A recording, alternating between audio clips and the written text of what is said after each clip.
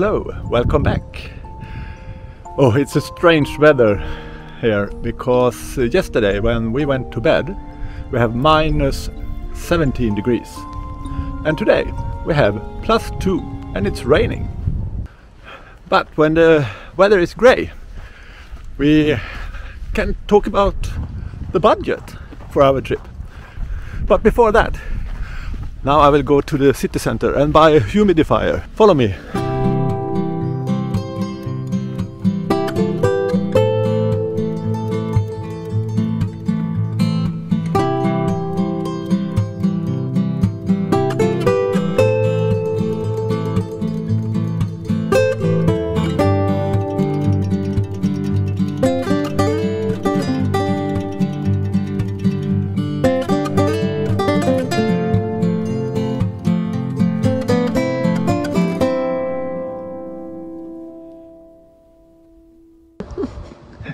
What is the best way to start a day?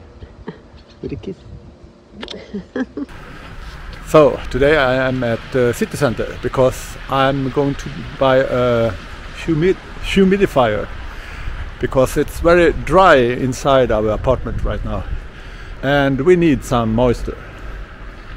So follow me.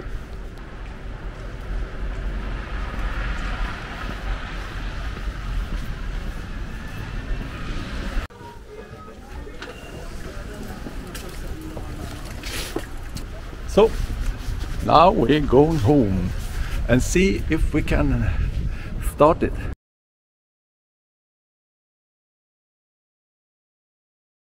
In order to make a budget, we should know how many days the whole trip takes. Therefore, we have to make a detailed time planning. We then use the stages suggested on the Gronze.com website. When we did the time planning, we discovered that if we were to hike all the way to the end of the world, it would be difficult to keep the length of the day stages under 25 kilometers. We would manage to reach the goal in 16 hiking days, but then we would exceed the planned numbers of days as it was 14 plus 1. We therefore also made an alternative plan with its own stages. Those of you who have followed us before know that Camilla has pain in her body every day, in her legs, joints and muscles, and that she does exercises every morning to make her feel good. Then she is uh, also relatively stubborn, and that's an advantage when the body is struggling a bit. This means that we should not plan long stages at the beginning, as we know from experience that uh, her ability will improve as time goes by.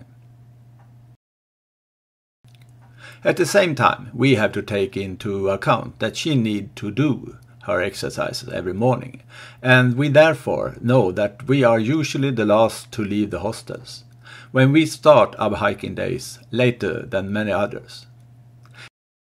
It also means that in order to reduce any stress over finding beds, we should book some hostels in advance. We both want to keep flexibility, so we only book a few at the beginning of our hike, and maybe a few hostels where we know there are fewer beds. All so that we can have as a good hike as possible. So when we made an alternative plan, we found out that to Sarria we wouldn't be able to save any hiking days, and to reach 14 plus 1 hiking days we then need to hike quite long days after Sarria. This is not what we wanted, so we decided to either skip the journey to the end of the world this time, or add another two hiking days, and then have 16 plus 1 in our schedule. We decided to add two hiking days. So now we plan based on that to hike for 16 days and have one rest day if needed. This hike will be Camilla's longest ever, so we will have a challenge partly in the length and the fact that Camilla has not hiked certain stages before, which we think will be both fun and exciting. I can say already now that we will review the length of the day stages against what is suggested at uh, the Gronze.com, but that we will do that during our journey, depending on how we feel, can avoid injuries and other things that uh, are out of our control and can happen along the way.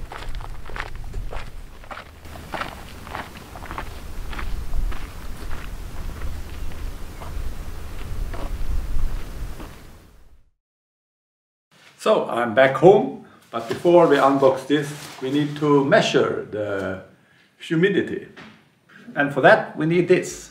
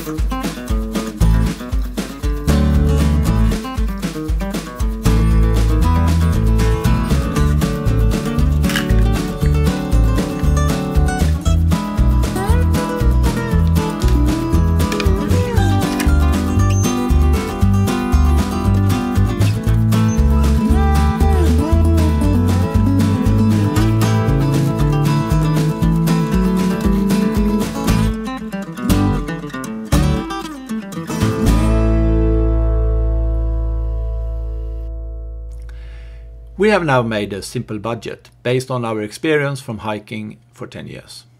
It's not an exact budget, but it gives us an idea of how much money we need to save for our hike. As you can see, we haven't chosen many exclusive options. We expect to be able to stay in hostels, mostly, and eat the menus offered uh, along the way, or uh, we intend to shop at the supermarket. We are relatively simple people who are happy with the simple life. That is what we believe makes our trip what it is. We already have a lot of equipment that we can use, that we bought before, so it's not in our budget this time. Just the equipment that we need to supplement. And yes, sometimes I spend my money on the gear. But we are all different personalities, and if you want to make other choices, just add it to the budget. Now am I tired of the city, so let's go out to the forest.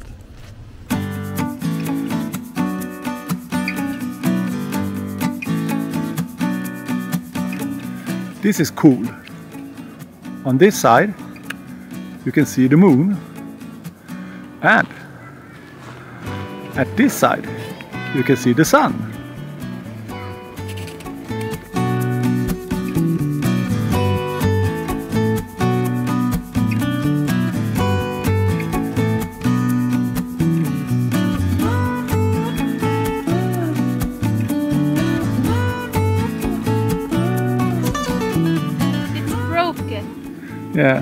This is my fantastic daughter.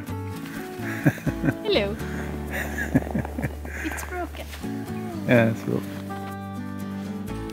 How would I know when you're filming or not? it's Three o'clock. Oh, great. In the afternoon. Yeah.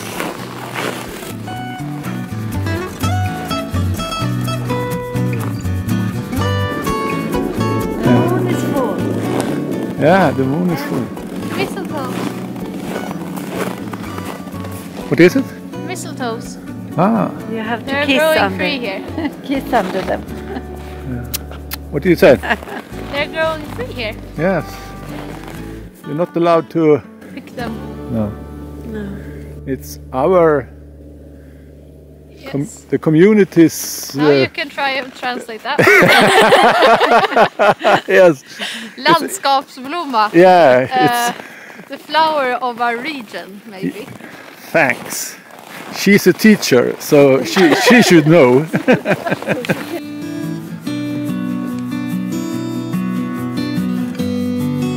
that is my youngest daughter, Maria. a lot of energy.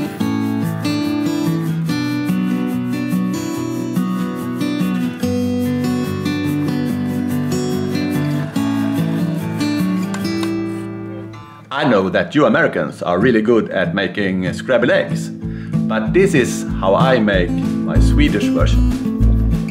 First I use uh, four eggs. Then I use just a little water. And some milk. We need some salt. Is it enough? Yeah, I think so. We take a little more. So, then I want some black pepper.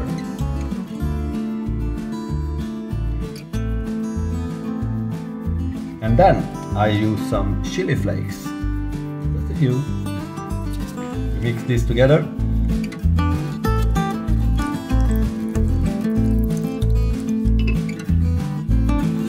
Heat this pan up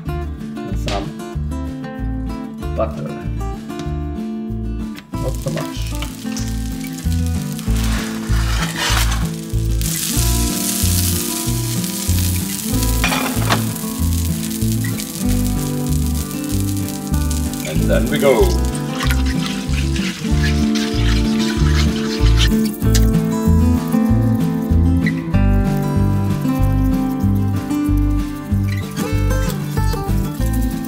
I lift it up a bit.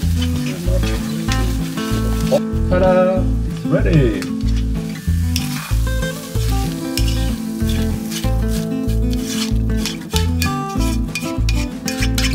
Five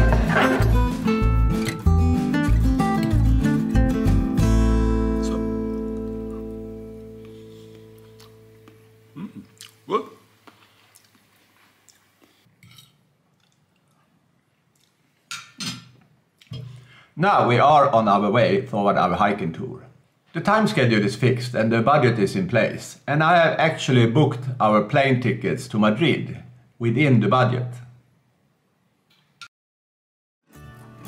But what is the difference between booking yourself and uh, traveling with a travel agency? I would like to say that you are paying for the work that we are doing now. A travel agency has or should have the knowledge of how it's possible to travel in a good way to and back from the train. They make suggestions and book your journey and can help you if there are changes in your travel schedule. It is not certain that the travel agency have knowledge of all the accommodation that can be found along the trail, but they probably work, or rather they should work with some hotels and hostels that they can recommend. The travel agency can also arrange transport that you otherwise have to book and find yourself. Of course, the cost of using a travel agency is a little bit higher than when you book yourself. We have used a travel agency once when we were going to do a hiking trip at uh, Portofino in Cinque Terre in Italy and could not find any accommodations. Then the travel agency opened a door for us so that we could find and book hostels that we otherwise could not find and book. It was the key for us to be able to complete our trip. To add is that otherwise we had to take care of ourselves. Regardless if uh, whether you choose to hike alone or with the help of a travel agency, I believe that the actual experience of the hike will be the same or at least as good. If you travel in a group, I think the experience will be different. Maybe your travel group will affect your trip more than if you travel alone, but that can be good too. We have done most of our hiking trips without involving a travel agency. It has been challenging at some times, but also given us freedom. Things that have come up along the way have we been able to solve ourselves or with the help of others. When you choose how you want to do it, I think you should turn to yourself and ask you these questions. How do I want my trip to be? What do I want to experience? What is important to me? Because your journey and experience will be unlike anyone else's. For us, our adventure begins when we lock the door here at home and leave for our journey. We want an adventure and the freedom to be able to influence our journey. But how does it end?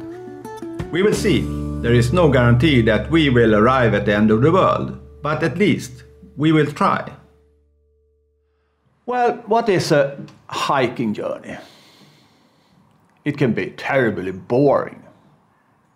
Delayed departures, wrong path choices, a lot of blisters, and and absolutely fantastic. In the next video, we will look at and select some alberg that we need to pre-book. That was all for this time, but keep following us. We will now start looking at equipment, training and other preparations for our hike. And who knows what things we come up with in our everyday life. Remember to support the channel by subscribing and sharing this video with your friends. See you soon.